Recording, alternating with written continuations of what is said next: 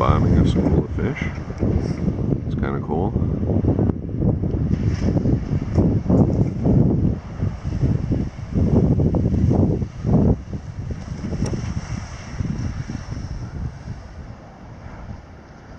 See the beach is pretty wide.